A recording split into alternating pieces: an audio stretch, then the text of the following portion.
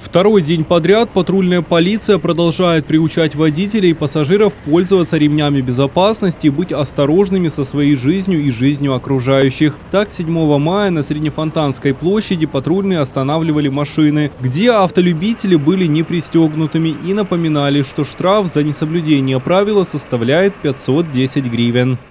В Одесі стартувала всеукраїнська кампанія Пристібайся, не жахайся.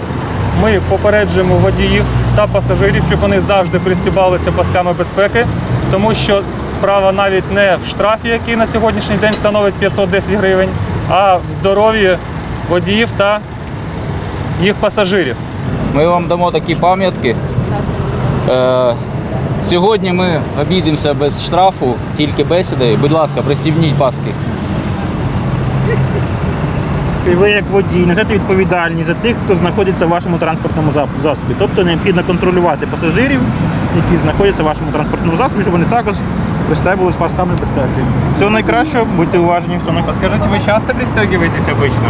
Обычно всегда с работы еду просто в обед, поэтому В патрульной полиции отмечают, что цель подобных акций не наказывать, а приучить водителей пользоваться ремнями безопасности. В прошлом году только в Одесской области произошло 26 тысяч ДТП, в которых было 32 тысячи пострадавших. В основном аварии происходят из-за несоблюдения безопасной скорости и дистанции. По результатам опросов одесситов, только треть из них постоянно пристегиваются на переднем сидении авто. Сзади ремнями безопасности пользуются только 6% пассажиров. Сьогодні ми спілкуємось з водіями на перехресті вулиць Середньофонтанської та проспекта Гагаріна. І наша мета це спілкування, це нагадування про е, необхідність е, користування пасами безпеки та такий маленький бонус для водіїв, тих, яких ми зупиняємо зараз. Вони не отримують штраф. А вони отримують листівки з нагадуванням. Також ми акцентуємо увагу і на перевезенні дітей, тому що нагадаю, згідно правил дорожнього руху, е, дитина в салоні автомобіля повинна перевозитися, знаходитись е, в дитячому автокріслі.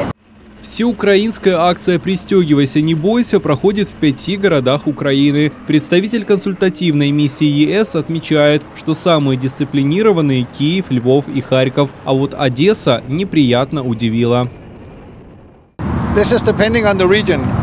Uh, I will say that we, in our survey we did initially, uh, Kiev was doing okay, uh, Kharkiv and Lviv almost okay, but Mariupol and Odessa was not coming out very well and uh, uh, at the absolutely worst. So here you have the biggest opportunity to improve. In my own country, I'm from Denmark, the uh, usage rate is 97%, and we have worked with campaigns for 25 years. So it takes time for people to realize that this is a very, very easy way to survive.